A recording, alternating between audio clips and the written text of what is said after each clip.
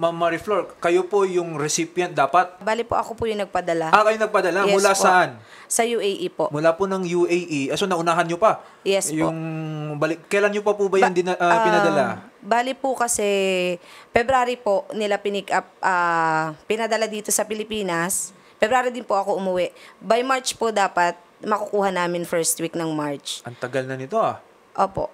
Um, ayun po, hanggang ngayon nga po, hindi po namin makuha-kuha. Tapos, ah, pumupunta din po kami ng BOC, nagpa-follow up din po kami.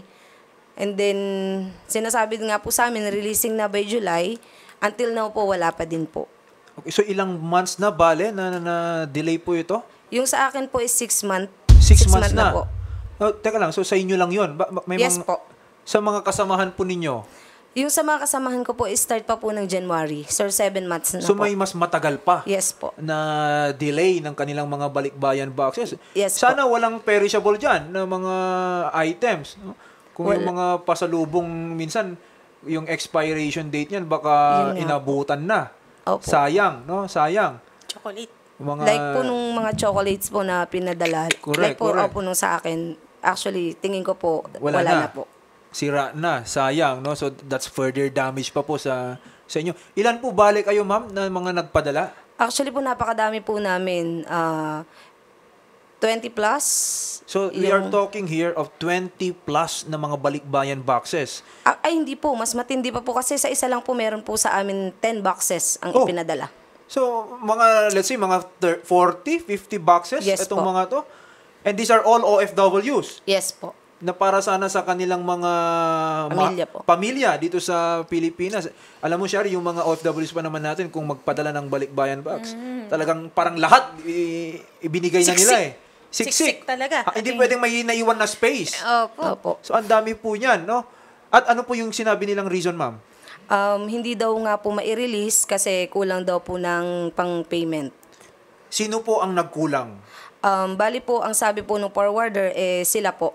Hindi nila nabayaran Opo. sa customs kaya Yes hindi po. i-release ng ating uh, BOC. Yes po.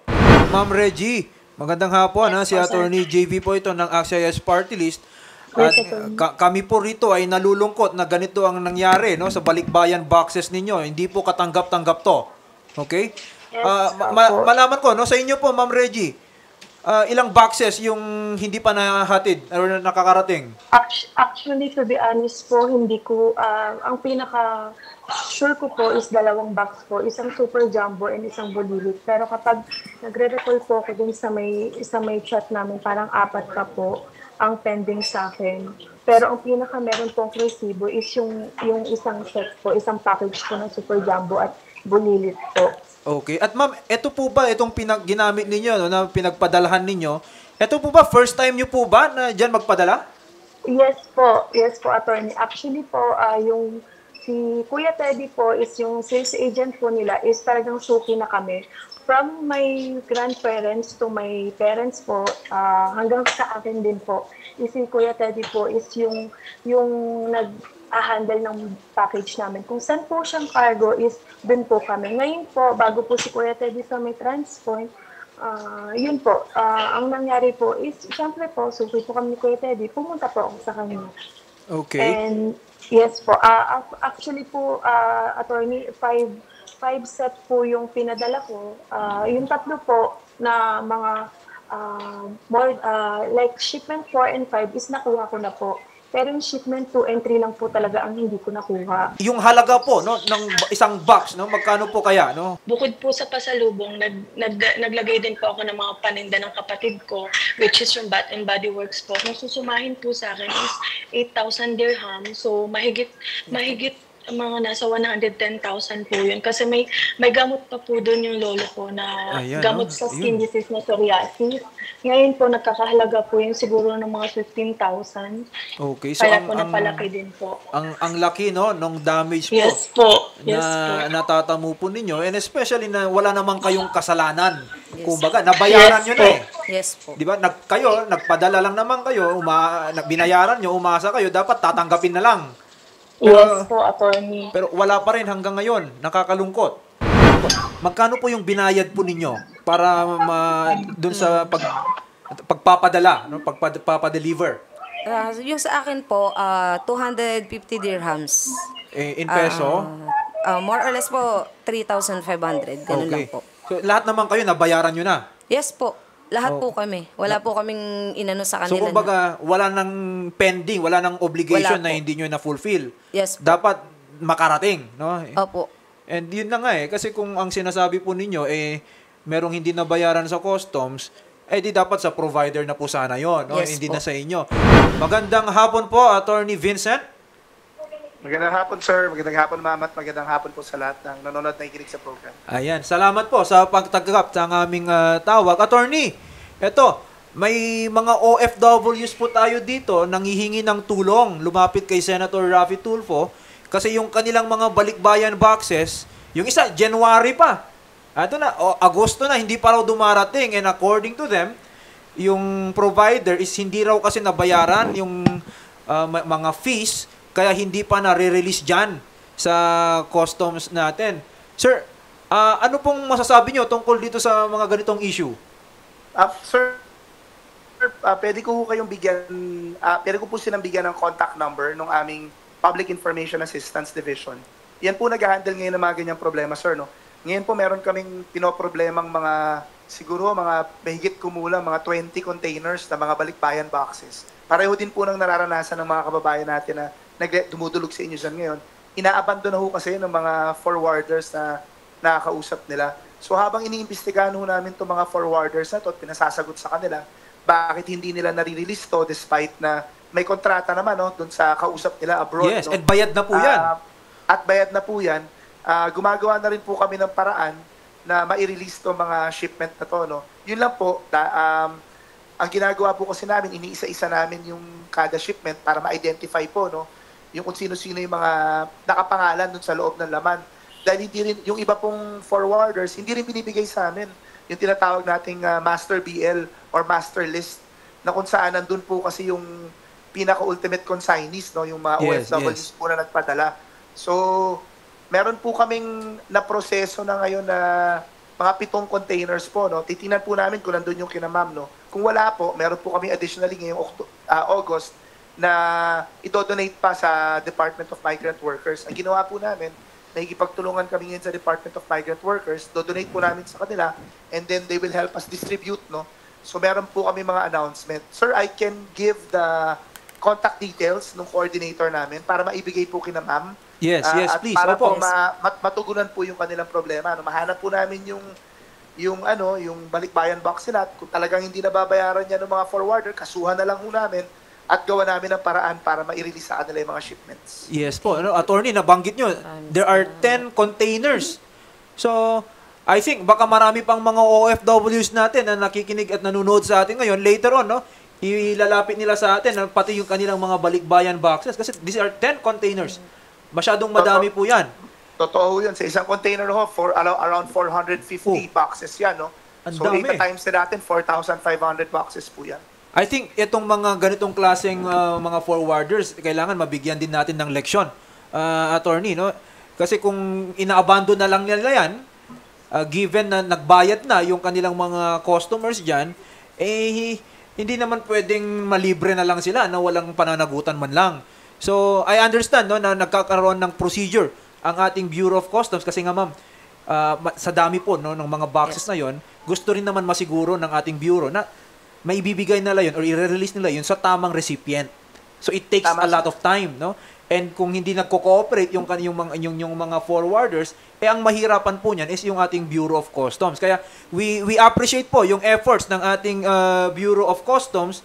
And sir, hihintayin po namin ha, yung contact number na ibibigay po ninyo para uh, ma-coordinate namin at sana ma-release sa pinakamabilis na panahon no yung kanilang mga boxes. Opo, sir. At bukod po doon, yung contact number po na, na makukuha nila, constant po nag-update yun. So, wag po sila mahihiyang mag-follow up doon sa sa hotline na yun, sir. No? At sasagot po yun. In fact, we, we give weekly updates, sir, no? kung ano na po nangyari sa proseso namin. Kaya po na-inform namin, ah, in fact, nung about two weeks ago, sir, nag-publish ulit kami no, ng mga pangalan ng mga pwede na po mag-claim ng mga balikbayan boxes. Hingi lang po kami ng konting oras ah, dahil nga po medyo marami to Dati ho kasi konti lang, medyo umabuso ng konti itong mga gantong modus operandi eh. Okay. Parang nagsiputan po yung mga paniba, yung mga mga pa- bagong forwarders. Tulad nga po nung kwento kanina ni Ma'am, no? Napapakinggan ko kanina. Iba naman talaga yung dati nilang regular na pinagpapadalhan. Opo. Biglang lumipat sila dito. Ayun, dun, dun, dun po usually nagkakaproblema. At attorney, ano po kayo yung mai-advise ninyo sa ating mga OFWs? Kasi ang dami po, no? Ang sumusubaybay sa atin, no, from other countries, mga OFWs, nakikinig sila sa atin ngayon. Ano pong ma-advise nyo sa kanila, no? Uh, insofar as their choice of mga providers or forwarders, rather, pag magpapadala sila ng mga balikbayan boxes to the country. Pinapadalhan ho nila doon. May counterpart po kasi yan dito sa Philippines, no? Sa Pilipinas. Oo. Ang tawag po dito, deconsolidators. Maaari po nilang itanong kung yung counterpart dito, miyembro po ng Deconsolidators Association of the Philippines. Kasi po at least yun, uh, lihitimong organisasyon po yun, they self-police and at the same time, they take upon themselves yung responsibility na kapag kahit hindi sila magkasundo nung kumpanya kung saan nagka-transaction dyan sa UAE, eh sila mismo aakuin yung responsibilidad na i-release at i-deliver yan. So, pakitanong ho yun, number one yun, pakitanong po kung yung counterpart dito sa Pilipinas na magpoproseso ay miyembro ng TDCAP o Deconsolidators Association of the Philippines. Pangalawa po, kung may access po sila sa internet, no, meron pong mga freight forwarders at deconsolidators na, na, na may listahan po ang ating Department of Trade and Industry nasa website po nila. Maari po nilang gawing reference point yon para po makita. Ito po yung mga tinatali ng DTI na may mga gandang reputasyon at uh, nakikipag-coordinate uh, pagdating sa mga ganyang problema. Um, masama man pong sabihin, pero maging diligent po, no, lalo na pag mura yung presyo. Naiintindihan ko po, gusto nating makamura, no? At uh, mahirap naman ho talaga yung uh, in- in-earn na pera ng ating mga OFWs at kada sentimo ay mahalaga sa kanila. Kaya lang dyan po nagsisimula, no? Yung konting pagtitipid, nagkakaroon po ng mas malaking problema. Ayan, ayan. Ako natutuwa ako no doon sa advice ni Attorney Vincent Marunilla kasi binigyan niya tayo ng practical na ways no na pwede nating i-search. Masiguro no na yung atin pong i-engage na mga forwarders o mga ganitong klaseng ah, services eh aakuin no kung mayroon mang magkakaproblema along the way no. So sa ating pong mga OFWs diyan narinig po natin no si Attorney Vincent Marunilla.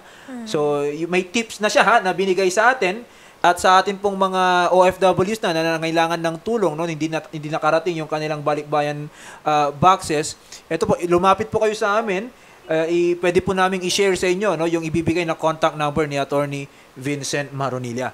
So Attorney, Attorney Vincent, maraming salamat po sa inyo ah, dito sa pagtanggap ng aming ah, tawag and of course no sa mga very helpful tips na nakuha namin po sa inyo. Mabuhay po kayo, Attorney Vincent Maronilla.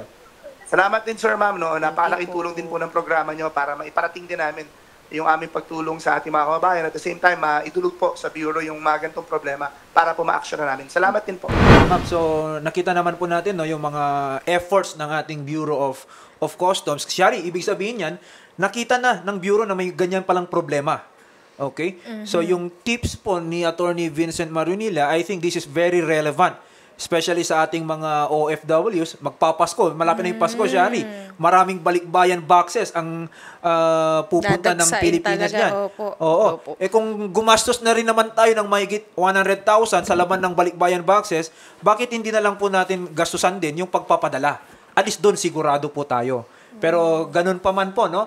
Ah, Ma'am Mariflor, narinig nyo rin kanina kay Attorney Vincent na ah, ibibigay sa atin yung contact details at hahanapin po natin yung balikbayan boxes ninyo. Kasama yung boxes ni na Ma'am Reggie Rosca at yung inyo pong mga ibang kasamahan dyan. Maraming salamat po. Oo. Sobra po kami nagpapasalamat. Oo, January pa yan, Tagal ma'am. po kasi namin hinintay talaga. Oo. Last, last time kasi attorney, may ganyang kaso din po tayo and agad-agad naman po itong Yes na, na, nasolusyonan. So ngayon po ma'am, asistihan po namin kayo sa office po ni Attorney Vincent Maronilla, ang ah, spokesperson po ng Bureau of Customs para po tayo po ay matulungan.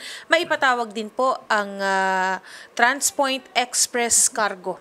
Thank Okay? you po talaga. Yung mga kababayan po natin, yung mga OFW po natin na nasa video call, ah wag po kayo mag-alala at ah, kakausapin po kayo ng mga staff namin para makuha pa po ang iba pang mga detalye patungkol po doon sa inilalapit niyo po sa aming tanggapan.